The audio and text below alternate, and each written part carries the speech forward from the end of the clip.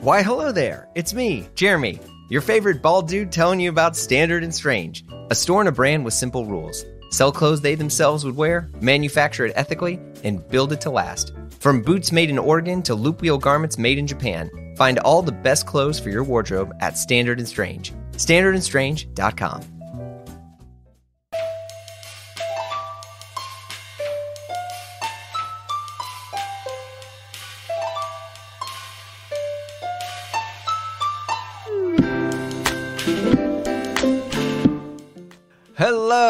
Okay, okay. Look, we're back. We're back with a new season of Blamo. Isn't that great? Isn't life great? I know how you feel if it's not. Things are uh they're just well, they're challenging these days to say the absolute least. Uh, well, look, when it feels like there's no relief anywhere, when hope is lost, when life just sucks, um, call somebody. It might get worse before it gets better, but the sun will rise again. I know that sounds stupid. I'm being a bit vague on purpose, but I'm stressing the importance of leaning into the future. You'll get there, and I'm so, so glad you're here and you've chosen to listen to this pod. I'm your host, Jeremy Kirkland. Hell of an intro, right?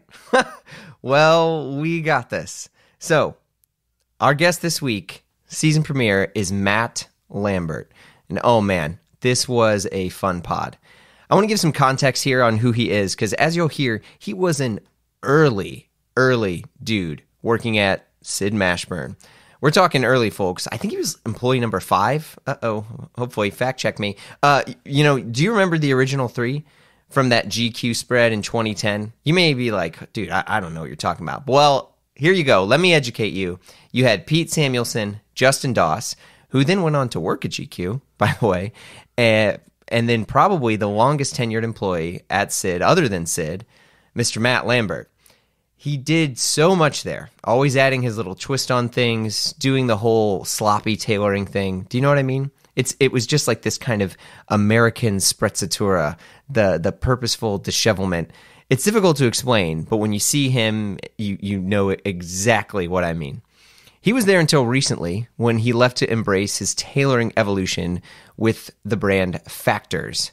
Uh, it's a brand that he created, and he resurrected this new form of tailoring that, to me, feels like the perfect example of what a dude who was in a rock band does when he makes clothes. I'm serious. It's beautiful. It's elegant.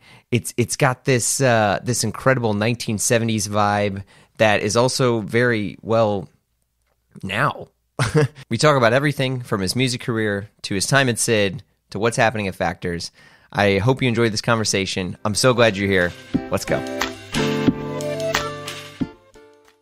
Well, you even got what are those Grado headphones? Is everything that you have like dope? I try. I try to buy stuff that lasts a long time that it makes me feel good, you know. No, hey, I appreciate it. I'm glad. Well, well, thanks, thanks for chatting. I'm glad. I, I know the original plan was to try to do this in in person. Yeah, you know, sadly we're we're remote. Not not even COVID related, just travel but I don't know. Say vie. How are things? Very good, man. Really good. It's been busy lately. Um, it's been exciting. Yeah. So you're you're in you're in your studio slash atelier slash store. Yeah, it's uh I've got like this 450 square foot space and little five points. And uh, I do everything out of here. So I host appointments here. We do all of our planning here. I have band practice here. We do all of our fittings here um, for the appointments, whether it be outside alterations for friends and whatnot, or custom suiting appointments. And then as of recently, we started carrying a little stock finally. We put ourselves in a situation. Yeah. Yeah. You're doing some ready to wear stuff now, right? Yeah. Yeah. We started doing ready to wear. We launched it um, really with Essence back in November. Right. And then we were able to start carrying a set of um, trousers and shirting and a, some blousons here in the office as a small stock run, which we'll try to ramp our way up into hanging suits and leather too. But um, right now we started with just the just some essentials and like seasonal pieces that we had for the current collection, Jeez. which has been good. It's great. Uh, we don't have a lot of space to work with. Mm-hmm. Like again, it's like a 450 square foot space. You have to be really strategic about what you can actually carry but what also gives the space enough oomph because right. it is small, but we try to make it seem and play bigger, you know, than it is. But I, I love it. I think it's as contemporary of a model as you can get now. It works perfectly with my lifestyle, and hopefully, so far, I feel like customers have been very receptive to it. Yeah, well, I mean, I definitely want to want to chat about factors and and how that stuff's going on because I think, as an aside, it is the it, it is it is kind of like the new standard of how a brand and like a fashion house can operate in the sense that it's really you. I mean, you and your son, but it's you, and you know, so the fact that you're into music and you're playing music and, you know, it, it, that I feel like in the past that used to be somewhat siloed, right, from every designer. And now because you are the designer, you are really the product. People want to associate everything that you like, you know, whether it's, you know, and some of this stuff, and we'll talk about Sid too. I feel like Sid was a guy who who did a good job of being like, yeah, but these tacos are just as important to the store. right. It's the true uh, true condition of lifestyling, right? Yeah, exactly. Well, but let's jump back because, you know, I met you, you were at Sid, but you had a whole other life and career before this that I, I think deserves, uh, you know, a ton of attention because your music career is, I mean, the music you made still is, is incredible. And I think so at the time I was working at the Beggars Group and you were, were you on Touch and Go? I was, yeah. I okay. Was, uh, we that was we signed to Touch and Go. Funny enough, the same year that I started for Sid, and I always joke around and say we were the last band signed to Touch. We put them out of business. no, we were the we we were signed to Touch and Go in 2008, the same year that I started with Sid. So I had both of these kind of dream opportunities parallel with each other, but they also kind of tore each other in different directions. You know, they didn't flow very well naturally because um, there weren't many people on our team at Sid, and we were like this quickly growing business that all hands on deck. And then at the same time, I'm with this band that is making their second record, finally has this record deal that we can get some steam behind us. And, uh, they, but sometimes that doesn't go, you got to get out there and you got to tour, you know, and that's very difficult to do when you're expect your expectations at the store level were so high too. Cause also I was working alongside my best friend, so I felt like I, if I were out, I was putting them in a bad position too. So it was a, it, I mean, it was a pretty difficult time to you know navigate. But yeah, I was we I had a great um a great little deal. What was your band called? All the Saints was the name of that band. Yeah, and I we still play. I can you know we play like once a year or something. We'll pull it out and get loud. Um, we we after the Touch and Go record, we found another label. Um, City Slang slash Souterrain in Europe and did another record with them there. And that was, I think that was the final one for like seven or eight years until we put one out three years ago on our own, but or with our friend Chunklet here in Atlanta. But yeah, we still make music, um, just not as much since the pandemic, of course. But yeah, that was uh, definitely a moment in time. well, pre 08, I mean, how did you get into music? Did you did you grow up around the Georgia area? I grew up in Alabama, and I mean, honestly, the only real interest I've had since I was a kid was music and clothes. You know, I did the sports thing for a little bit until essentially like late middle school, and then I got into playing guitar. Well, I guess ninth, tenth grade, I got into playing guitar and immediately like wanted to start a band in high school. I did did so, and kind of always kept a project going until I moved to Atlanta after college. Okay. Um, in 04, and that's when we started all the Saints. Right. Yeah, and I think you know something I definitely want to kind of like state for the record is you know so many people especially at the time you guys were doing music and all the saints you know i was at beggars. I was also in a band trying to do it. And it's really tough when you you see on one hand the stability of a different type of career right in your case sid. And you know in my case at beggars but the the allure of life on the road and gigging and playing shows is amazing. And i remember the thing that threw me off the most is a friend that was in a band that was very successful at the time was telling me like he wasn't so sure how much money they were going to make this year and how he was going to be able to do this and this. And at the time I had met the love of my life, now my wife, and I was like, "Oh shit." I and I, I pulled the ripcord. Like I bailed. I mean, I still love music and it's still a part of me. I mean, there's literally guitars, right? you know, back here. You're right. But like my love of of yeah, music totally like overtook my love of playing. And I'm just kind of curious, like how you balance that, because obviously, you know, Sid at the time was like a rocket ship and you were on the ground floor. Right. Um, I tried to find ways in every, and I was also already a, a, dad at that point too. So you you take that. That's another reason that made touring very difficult, and yeah. also had to keep us like a steady level of income. I'm not. We weren't like, you know, 21 all free and single and hitting the road 360 days a year. Yeah. I never had that opportunity with with all the saints, and so we had to be again very strategic about how we went about it. But you know, we would we're practicing two or three nights a week after work, and we're fitting in little small short run tours where we can. Hopefully, doing like one or two weeks at a time, once or twice a year. But um, while we're doing that, I'm already at this position of Sid where he he kind of has me and my buddy Pete, and he splits the entire store between the two of us as far as vendors are concerned. So you can imagine at that time, there's a lot of a lot of design and buying and merchandising as well as like selling and cleaning and just the everyday ops of what went on in that store at the same time as trying to, you know, write songs, write lyrics, record, figure out what we're going to play, figure out who we're going to play with, and you know all that comes along with trying to be in a band at the same time. But yeah, I had this, I had this like moment on that, like this kind of watershed moment with Sid and Touch and Go. That's that early on that kind of like gave me the trajectory of where I am now. And it was this moment where we had left on this tour and we do a month in the States, we go to South by Southwest, and then we do a month in Europe. And that was the moment Holy. where I'm like, okay, I will know by the middle or end or whatever of this tour whether or not I'm going to be able to play music for my career or if I'm going to be in the clothing business, you know. Um, and Sid gave me his graces to do so, like to go on this tour. So we head off, and I, I kid you not, it was like a week that Touch and Go called.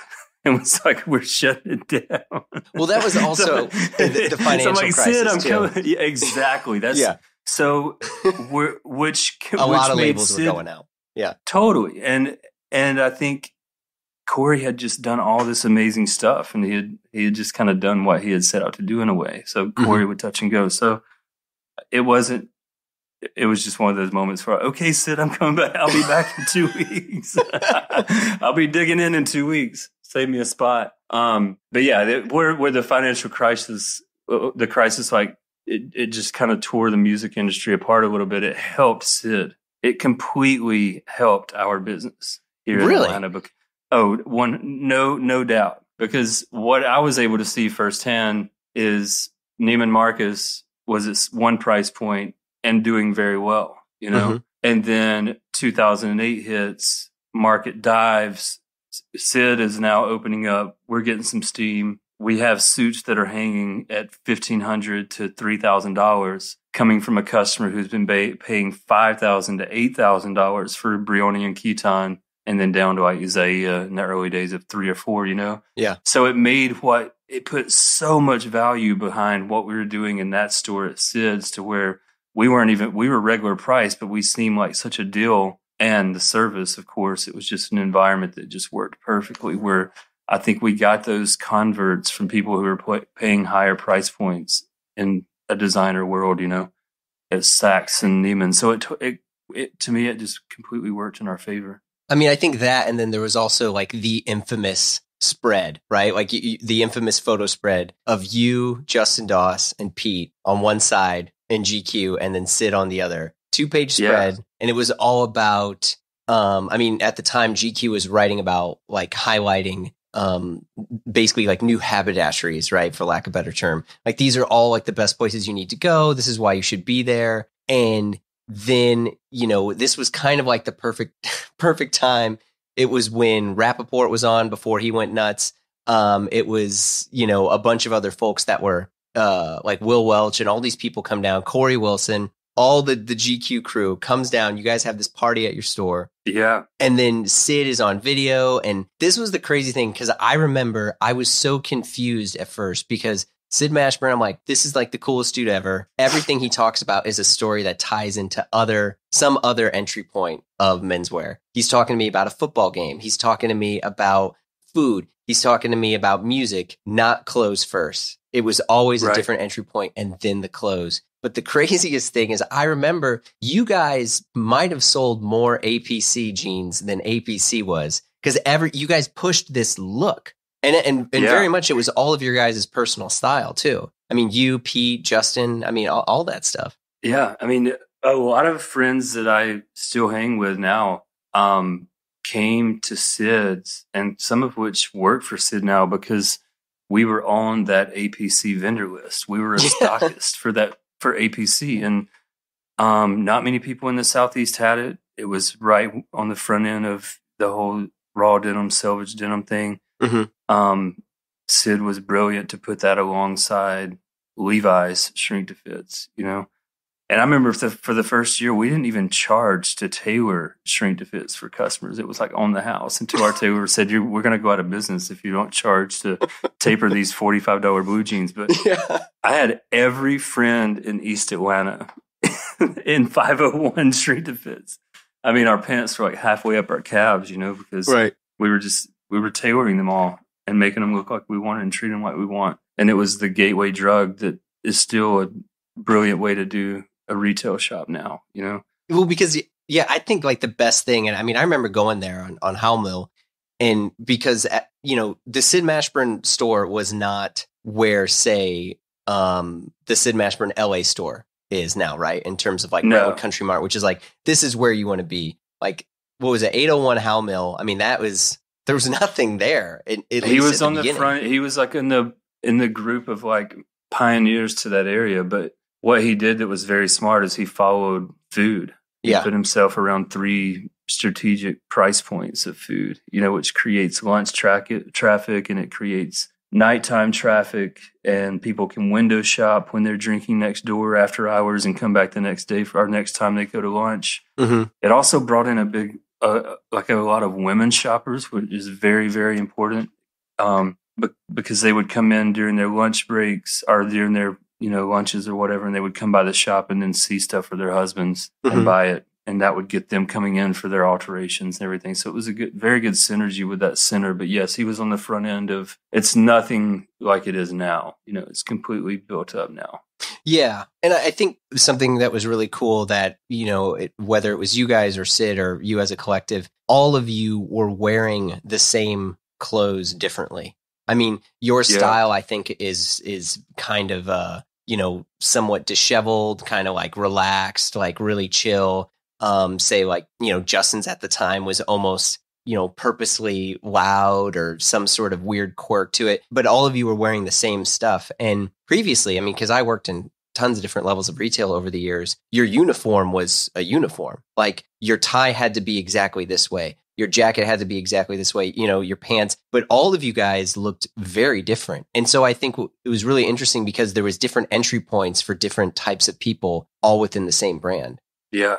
And part of that becomes or comes from the fact that we all four of us loved clothes, you know? And it wasn't something we had just recently gotten into. I think all four of us were born to be in this industry Yeah. and be a part of and like be of the cloth, you know? So when you put that into a young store like that, it was a dream. It was a dream store to me. I remember I was at Neiman's and I had a friend there who was my mentor, so to say, that got me into. Um, this is a very long-winded story, but it'll No, make fine. everything make sense. Like I grew up in a men's store in high school in Jasper, Alabama, that's been there since the mid '50s, and it was the type of place where you get the glass Coke or you have the coffee pot on, and you talk about life first, and then we shop. And it, like he, my my boss Rusty, who owned that store, like was the mayor of that city, you know. Mm-hmm. So that's how I was raised in this business where it's hospitality based. We do, you know, I'm out in the car every day after school, driving around alterations and gifts, wrapped gifts to people's houses and things like that. So I had the menswear background and I knew that that was where, by the time I got to college, I knew that that's where I was going was like menswear, you know? Um, went to Alabama with a marketing major, focus on fashion retail, graduate, take a job with Neiman's. Neiman's puts me around fashion and a higher price point, handmade what do you mean by clothing. fashion? Like, I'm like Dolce and Gabbana, Gucci, Oh. Prada, like f- real fashion. You know, in Jasper, I wasn't around that. I mean, I knew those things from magazines and such and loving clothes, but I never owned any or would never like hung out with people that had acquired any. Like it wasn't anything that came to Jasper, Alabama, really.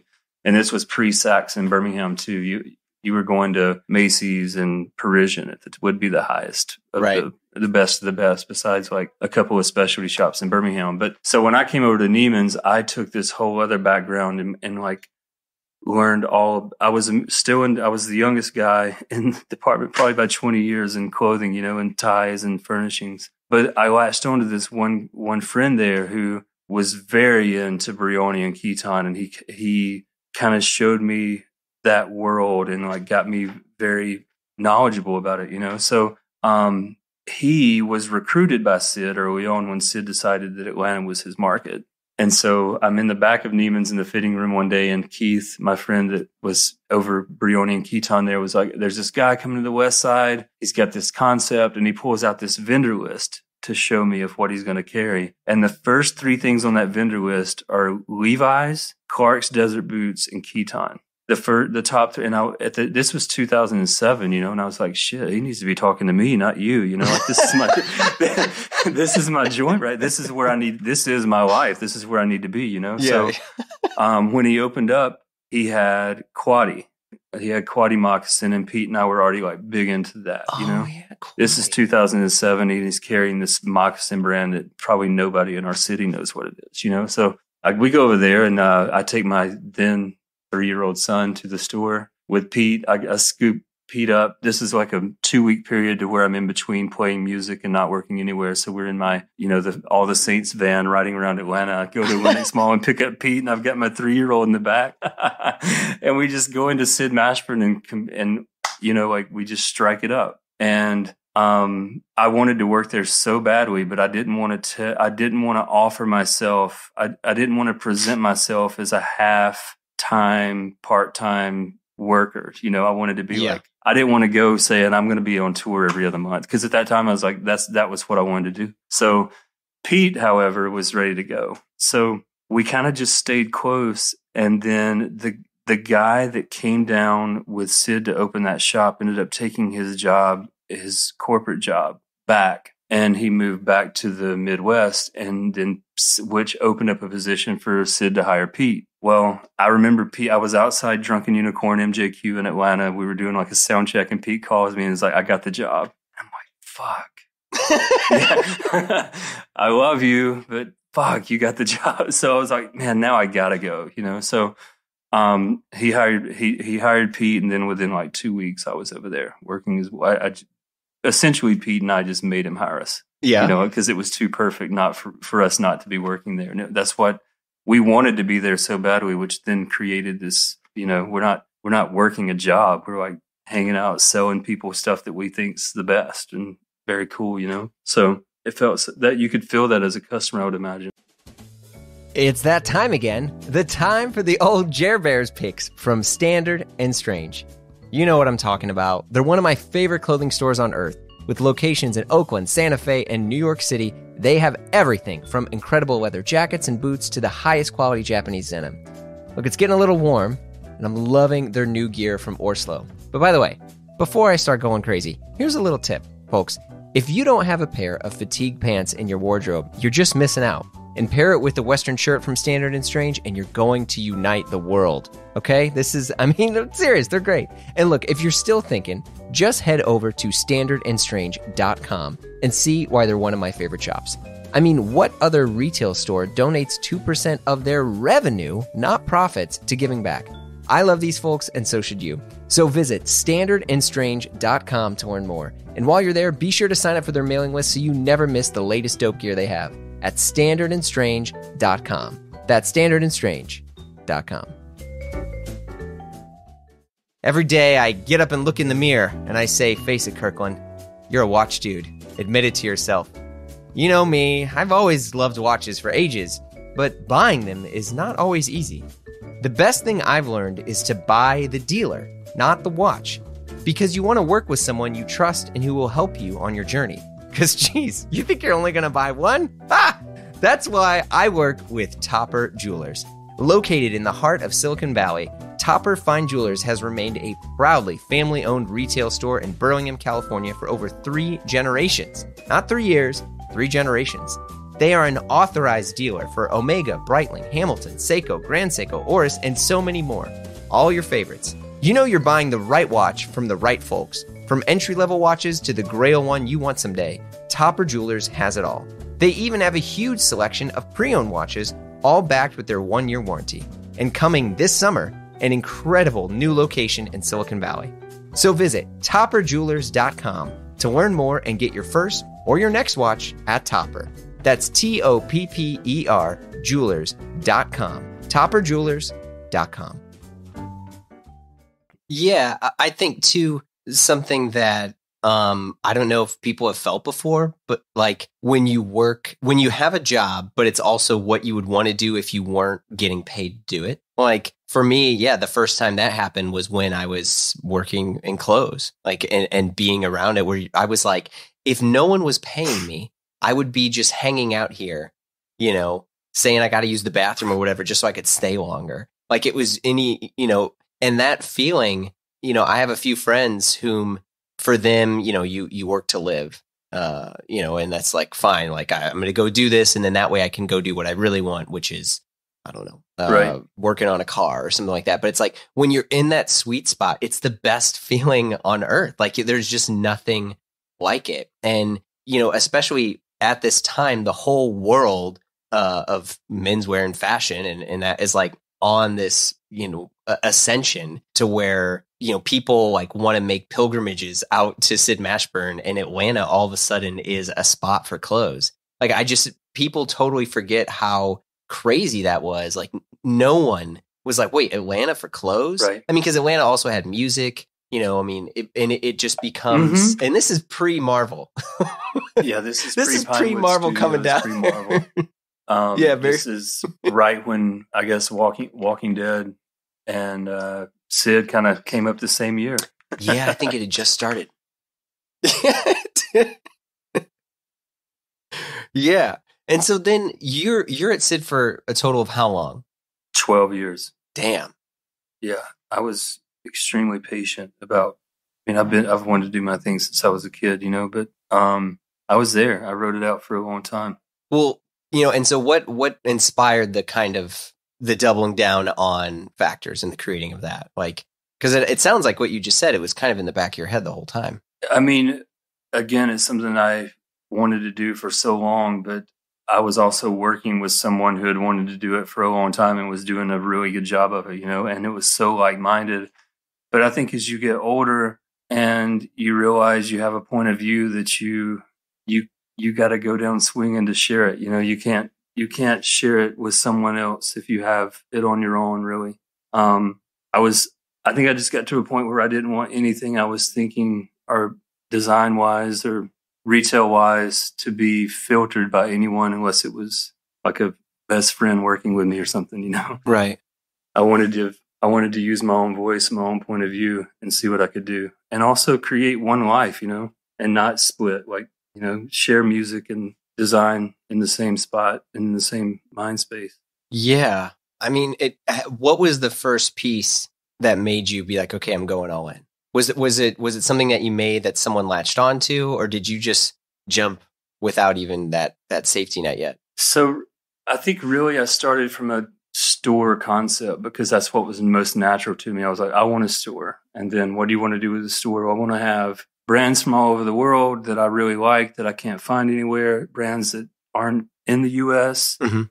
and then simple things that aren't in the even the southeast like Ben Davis. You know, this is you know two or three years ago. I wanted that line because it was very important to me. Um, but I wanted to put things around it that you couldn't get, like I said, in the U.S. or especially in the southeast. That I think would be, and I wanted to create this environment of a store. And within that store, I created its own house line called Factors. And I thought I was going to have an opportunity to open this store in a spot that I was interested in, Atlanta. And so I started like, you know, banging around ideas of what I would want a store to be like and what the branding would be like. And I kind of, it, it never panned out. So I just tabled it and I had all this, like, I had incubated this concept and had it there as a deck, you know, Mhm. just sitting for when it was time. But I think once the pandemic hit, um, a store wasn't of interest to me anymore, you know. Um, but factors was of interest, and de- and designing a line became the priority.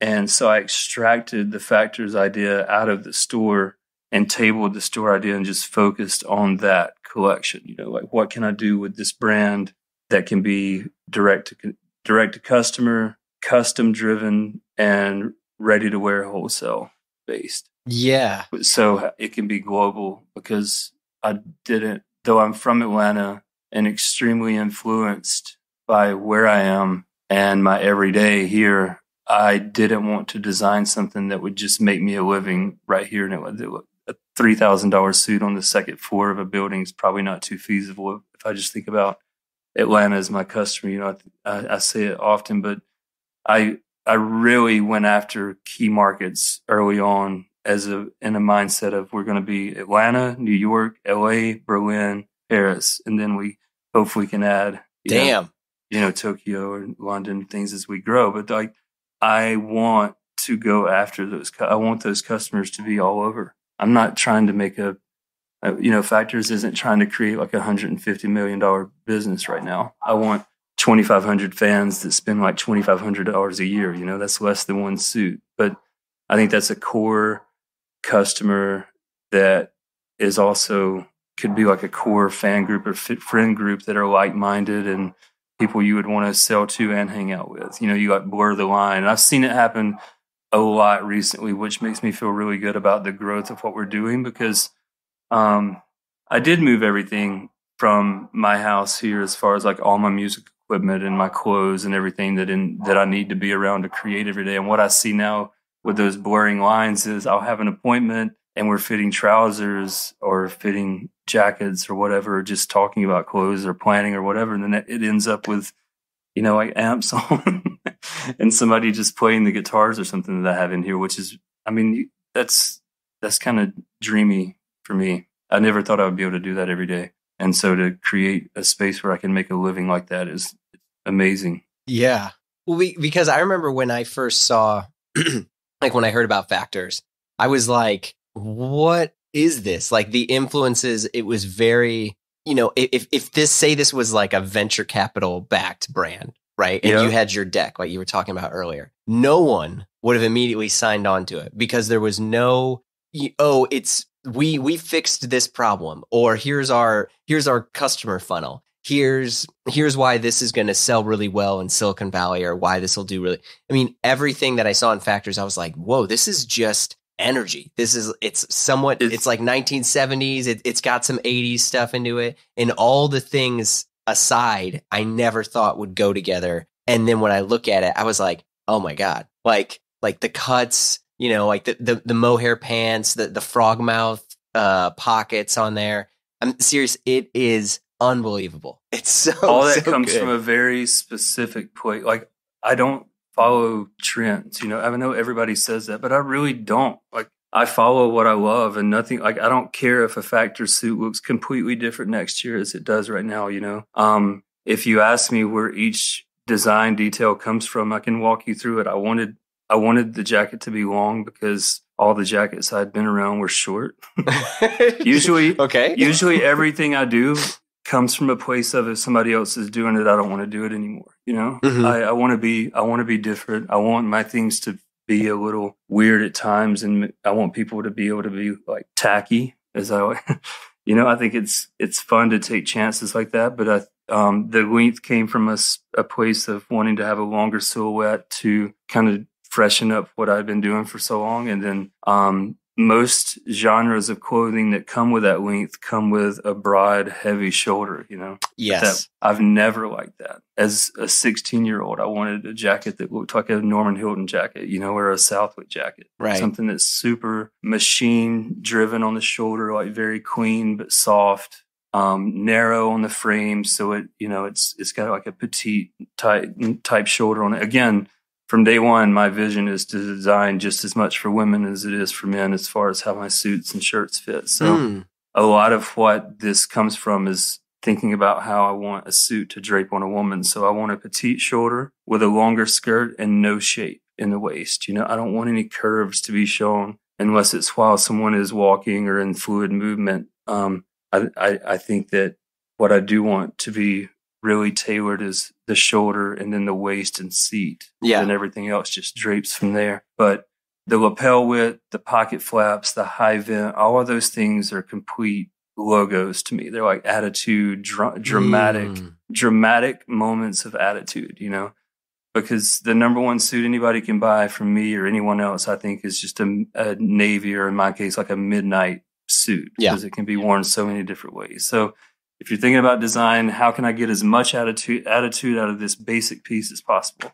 Make it in leather and make it with mohair and and take all the details out that I don't want there, like darts, you know, anything dandyism I tried to like remove. Tapered waist, waist suppression, darts in the jacket. And I wanted to um create to me it's a fresh silhouette. It's a narrow, soft shoulder with no Neapolitan sleeve head, and then it drapes straight down like an A-line dress almost Yeah. into a longer skirt length with you know um, wider pocket flaps and wider lapels and higher vents for attitude, essentially on something that's just a basic like a navy suit, and then that feeds through the whole um, collection of jackets, whether it be single breasted or double breasted, and all the fabrications, and then. The pocket that you mentioned on the trouser comes Yeah, that- from a place of It's a it's like a flared leg trouser, higher waist. it's a straight leg trouser more than flare. I think you see Okay. when people um so on the trouser we have designed it to where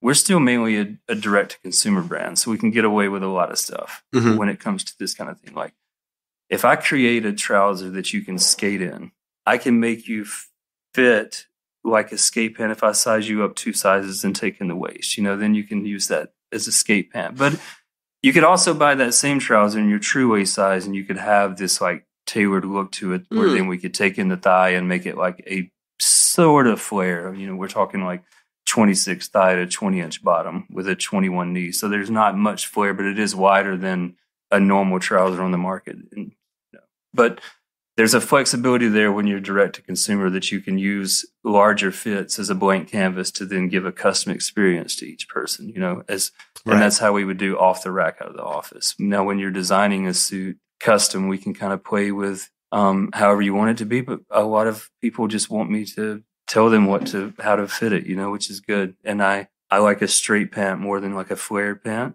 uh, personally. But i i have made some more flared things for people, so Yeah. um, it is something that is doable. But the pocket, I do want to tell you where that that comes from a place of being able to put things, take things in and out of your pockets as you drive or as you're sitting, and things not fall out of them ah. as much. Because I think that's also one thing people really love about jeans is they're so wearable because they're functional. You know, you, you want to wear them all the time because they just work and they're easy. That's you can true. put a ton of stuff in your pockets. I think a factor suit has 14 pockets in them, and every one of them should be like usable. You know, we don't baste our things on the rack. Everything's open. You can you can pout in the mirror and put your hands in your pockets and slouch and do all those things that Factor's people do. You know, um, in this in the store as you're trying it on because it's not fa- it's not it's not tender or fancy or basted or you know it's it's meant to be broken and I think people should see it like that. You can put your hands in the pockets of the pant or the jackets or whatever. So the access of those front pockets is why it went there. Yeah. and then rem- so usability lining aligning with as much as minimal approach as we can. You know, there's no waistband on the. There's it's like a Hollywood waistband. Mhm. There's no dart in the jacket. There's no yoke on the shirts. Like I, I just wanted to find ways to like take stuff out. Yeah, because I would say it doesn't look like this. The designs and the the accents that you're referring to are like done for nothing in the sense that you know how like some people you would add a detail that's unnecessary to just try to set yourself apart, but it actually serves no functional purpose. Like all of your stuff looks like, oh, this is a calculated decision. This is why you know. And it's funny to jump back one sec because you talked about you don't like trends. I will say this is fine, Factor's is, in my opinion, the if someone said what is 2022 trend, I'd say everything that Factor's has. I mean, I will. I'm not going to combat that, and I think No, yeah, I mean it's great. At the right, yeah, I think we're right in with where we should be. yeah, Um, naturally. I think it's a, a natural move, you know. And like I say, nothing's sacred. So as far as design, or I'm not trying to keep the same lapel width or same jacket length for every collection, or you know the same button stance even. So as soon as we want to move, we'll keep moving.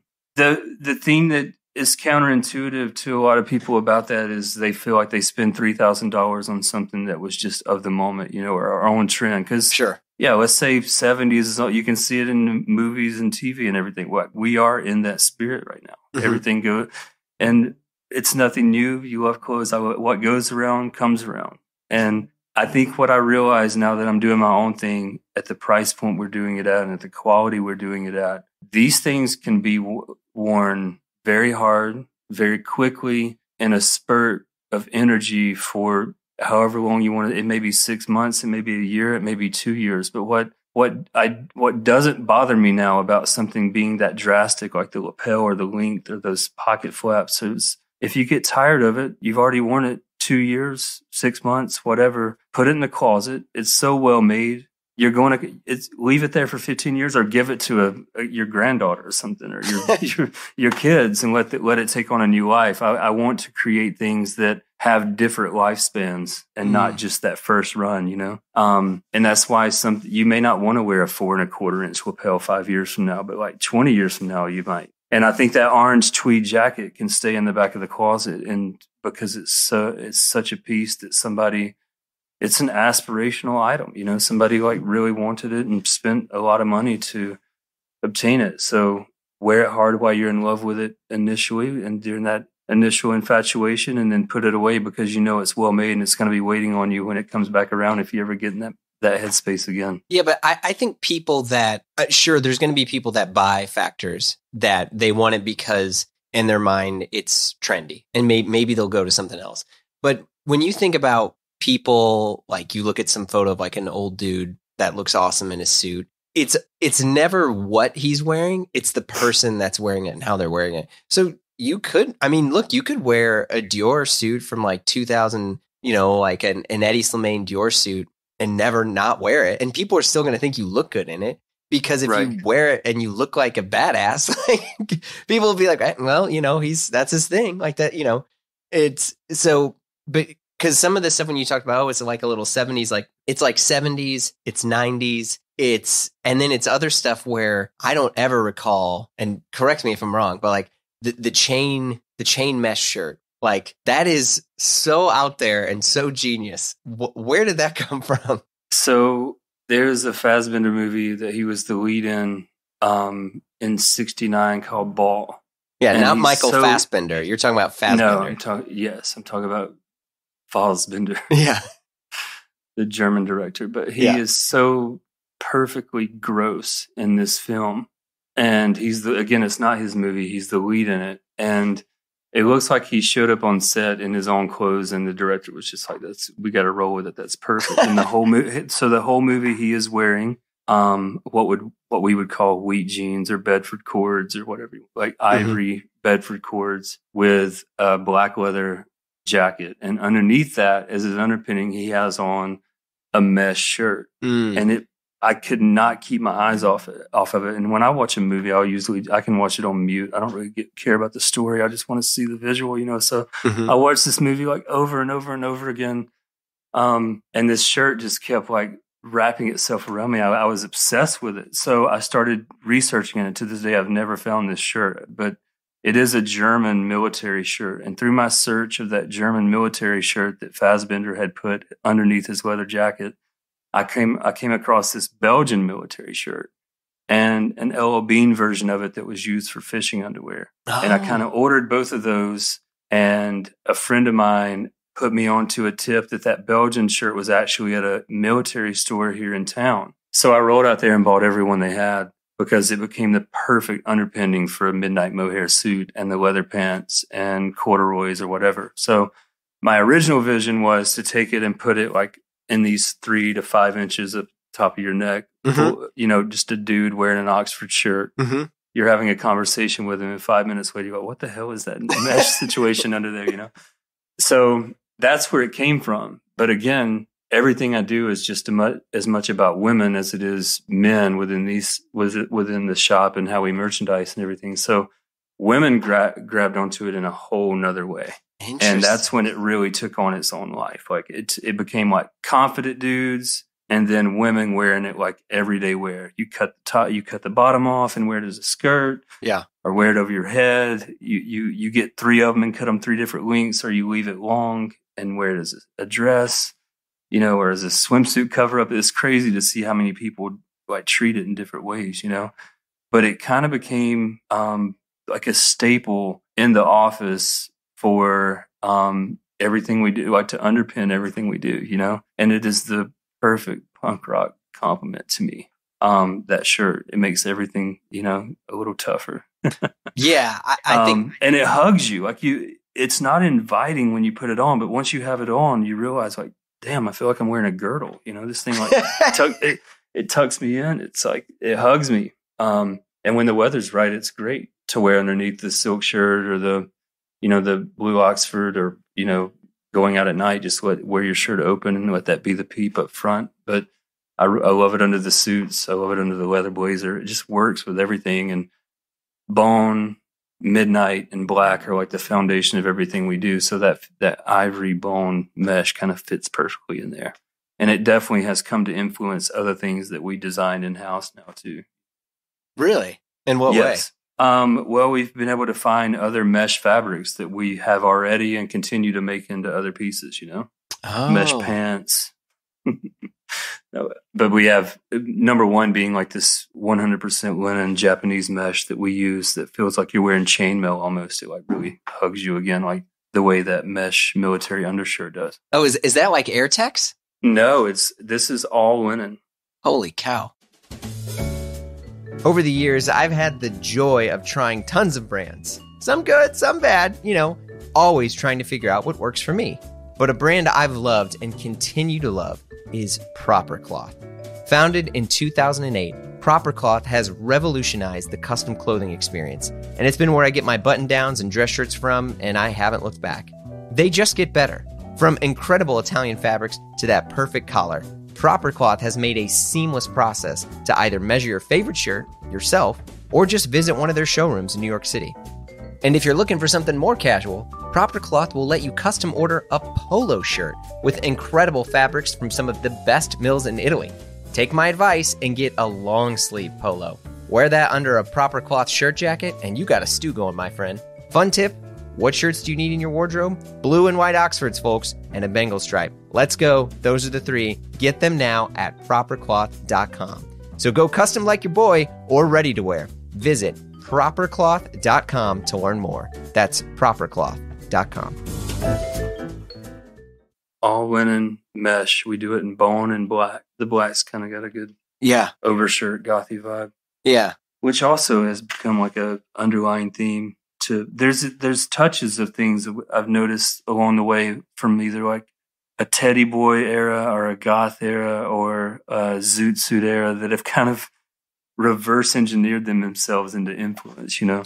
Yeah, that, that's what I was going to say because there's not. It wasn't intentional. Yeah, there, this is not, you know, because I remember I was telling someone about the brand and he's like, oh, yeah, there's stuff's like super 1970s. And I was like, no, it, there, sure, there might be like an element here, but there's also, there's a 90s element. There's, yeah, there's like a teddy boy element. There's like a, a, a mod sort of 60s element. Like there's, it is not and i think it's just because people see an extended collar you know over right. a, a, suit and they think oh that's 70s which sure but like that was also going on for a long ass time yeah i then. mean that's when it was bastardized the most right yeah I, there's a, I think there's an elegant way to do it um, and an interesting way to do it a lot of times i'll put the collar over my jacket because i would rather have silk on my neck than mohair you know yeah well i mean and mohair that's not the norm stuff. I mean, when I think of mohair suits, I think of like Reagan.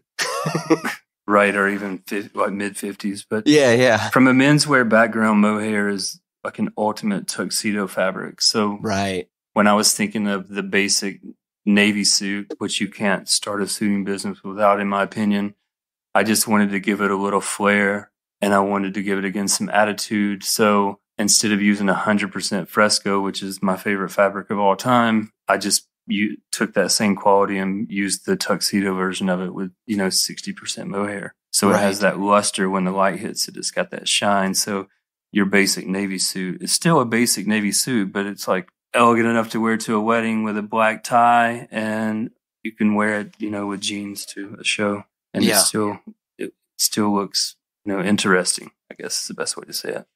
But yeah, the and mohair is just an amazing yarn because it's so dry, it's so crunchy, it's so durable, and when you're you, you want durability when you're spending three thousand dollars to wear a suit every day. I think Yeah. there's two. I'm tangent speaking right now, but I think there's two perfect ways to buy a first Factor's piece, and one of them would be to buy something that you can wear every day, like that midnight mohair suit, and the second way would be to buy something that you want to, sh- you know, like stop a show with, you know.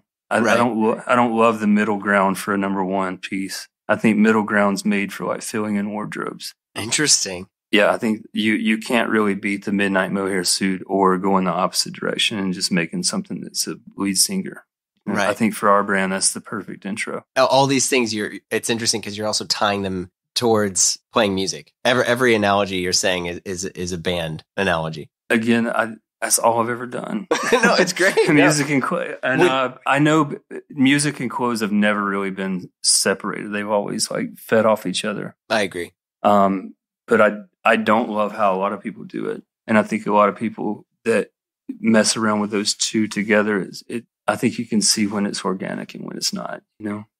Well, yeah, I mean, it's uh, that's the hardest part. Where you know, I remember a friend of and I we were we were chatting, and he was like, "Show me the difference between a look that looks forced and a look that looks effortless." And he's like, without like referring to the person's face, right? I mean, but I'm like, you, you can't. That's the face is, you know, like someone's attitude, their eyes, the way they they carry themselves. Like, Yeah. otherwise, they're still just clothes. Like, it's you you kind of have to assume like and also like how does this clothes fit into their lifestyle i mean nothing is more awkward than anyone wearing clothes that aren't comfortable in it right like i mean i remember when i was first checking out some stuff from sid this is eh, eons ago and you were showing me something and i was like yeah i don't know if oh it was the cotton like tropical print belt d-ring belt Mm, okay the This tie is- belts. yeah.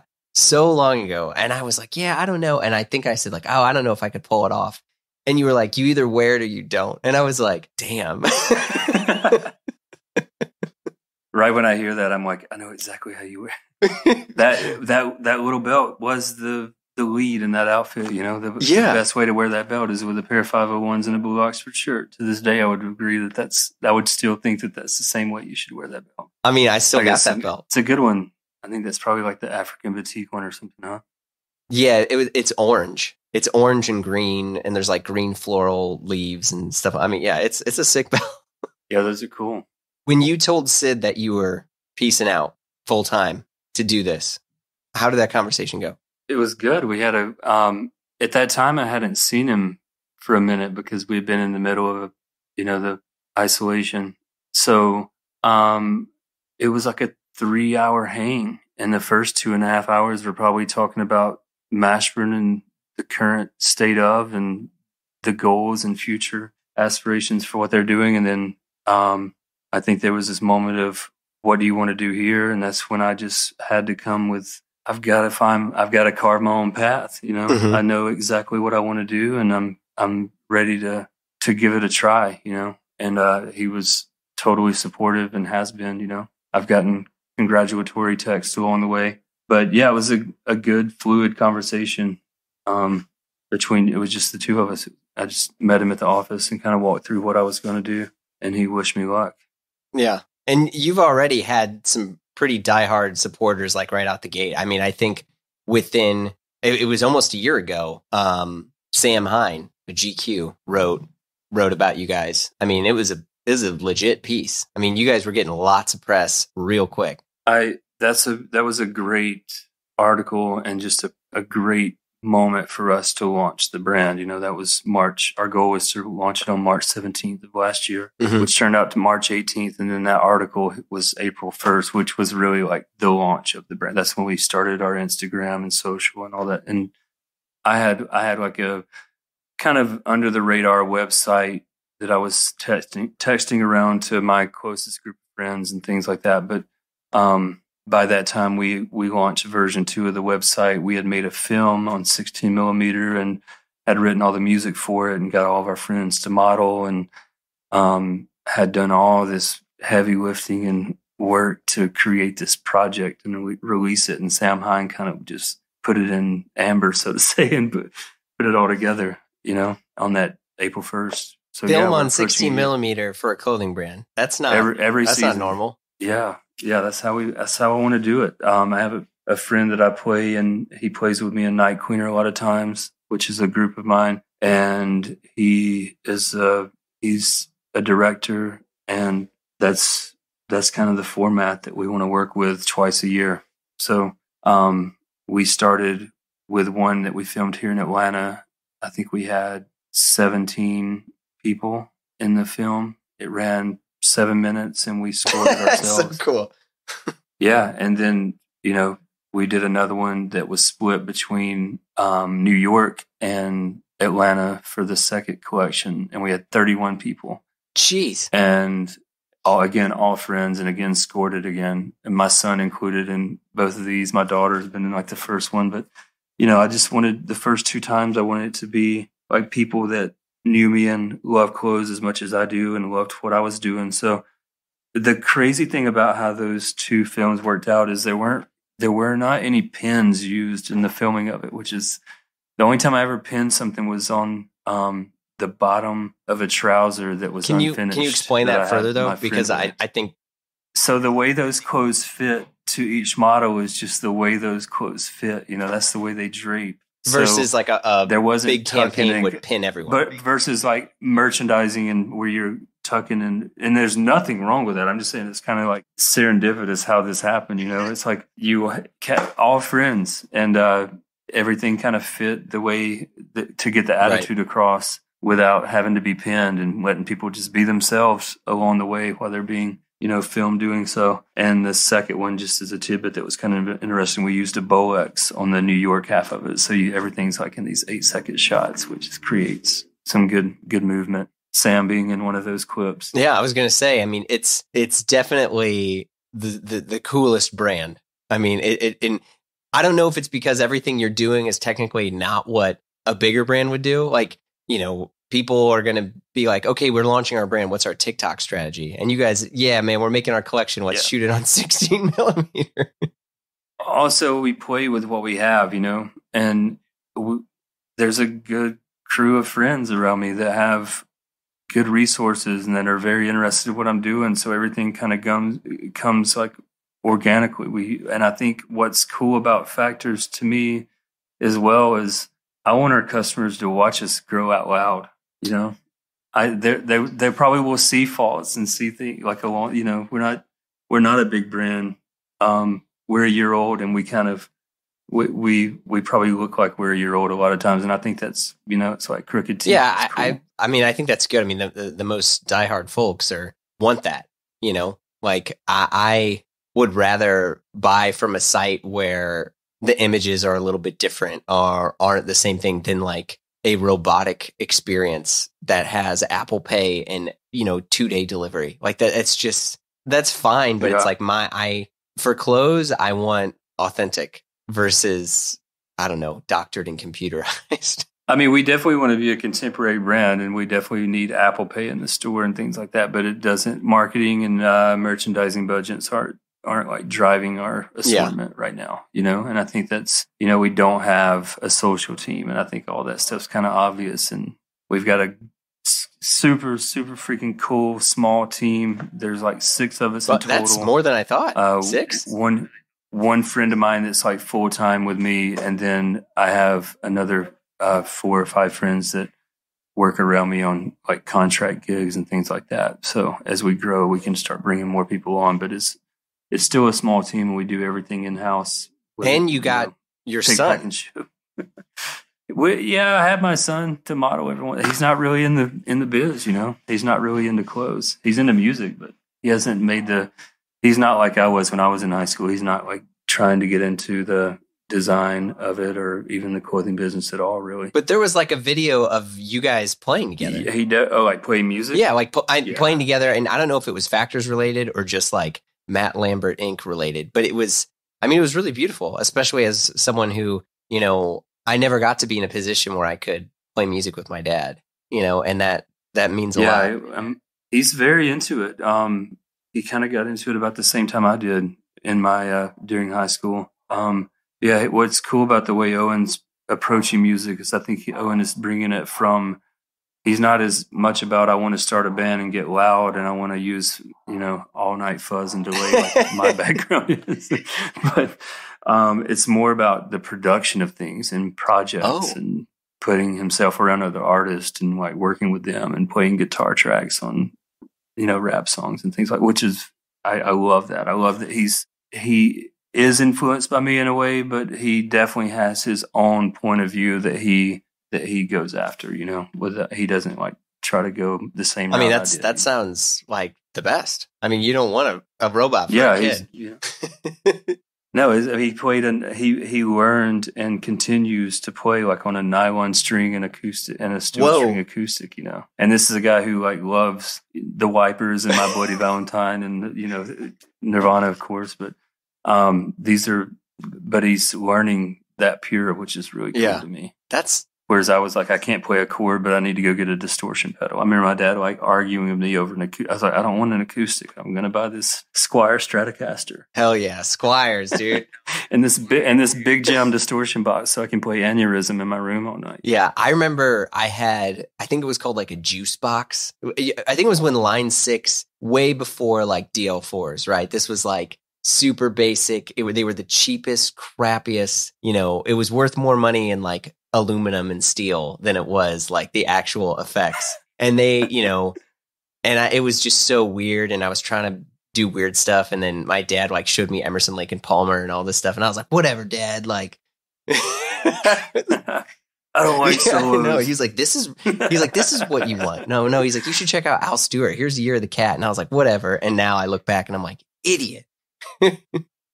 um, well, we're starting to wrap a bit. I want to kind of go through some other stuff that's like in the Factor's world. What would you say are like either three movies or a movie or, you know, that that help? You know, you had already mentioned uh the, the Fassbinder film, You gotta go with Baal. Yeah, Okay. you gotta go with Baal. but like things that other other films that have influenced Factor's. World World on a Wire would probably be the biggest. World on a. Wire. Okay. Yeah, another fa- another Fassbinder movie. But so it would be. Uh, think it was. It may have actually been. This is all like criterion Um, stuff a here. Two two part. yeah, which I definitely mess with. Another one would be on the Mystery Train. Mystery Train. Yeah. All right. Yeah. Um, those two would probably be the biggest influence for Factor's um, that I can think of off the top. Uh, what about three albums that you think have influenced Factor's? Oh man, the, number one, I'm just gonna go with what's always playing this this record. Sun. Ra. These are the most Factor's records because I always have them in the shop. Let's see, the Sun Ra Okay. record. Kind of start almost every day with this. This is Okay. Bad and Beautiful, which is a uh, I think it was a '50s movie soundtrack title that he plays on that record. It was his second New York record after he moved. Um, the other one that I fucking adore is Numero reissued this Israeli Italian guitar swinger Charlie Megira. They he they did a whole box set or did a two LP set on him like three years Whoa. ago. And he this is perfect Factor's music for in the shop. Um, Charlie Megira. Dang. Okay. Let's see. Um, easy listening as far as like in the store, but this this Miami jazz guitarist named Dale Staten. Del Staten. Yeah. Okay. another fave. Um, and then that's like three off the top. Lately, I've been on a big Love and Rockets kick. Love and Rockets. Yeah, I'm just going with what's. Oh, another go-to in here. The first Teenage Fanclub record. Oh wow. Okay. yeah, the, this one's really good. Pre bandwagon. Danzig. Wait, this is. y- These are all over the map. As as Factor's should always be. yeah. you know it should always be um other core to me like this whole melbourne australian scene i really dig onto because i don't want to again with Factor's and music the same i hate when everything's vintage like when everything's old of course i feed off of what's old especially as i have like all these analog things in here but like I still love new music and I still dig for new music. And so I think I love things like Exek or Total Control, um, all these new artists out of uh, Australia. Freddie Okay. Yeah, you know what? I I think that's really Pretty refreshing that you said that as an aside because like there are some, especially with music and like people that are music snobs. Like, I mean, I would say that I'm a bit of a music snob, but like, I don't think that there is no there's no new good music or like there there's no good new music. Like that's that's Definitely so not. it's so There's fucked just- up to basically just assume that like one era has all the music If it's new, it's you know, like I, I would say I'm partial to the 70s, but you know, to say that the music that's coming out now is all bad and not good, I think it's just people are lazy and it requires work to listen to things that you may not like yet or you don't know or you haven't, you know, had a memory on. Otherwise, it's just nostalgia, and nostalgia is not music. Right. And I, I I think it's just important to stay contemporary as much as Yeah. possible. Yeah. You know? Um, especially in music listening to me. I always want to know what's going on out there. I don't always find stuff that I like, but I still try to dig for it. Or have good friends that turn me on to it.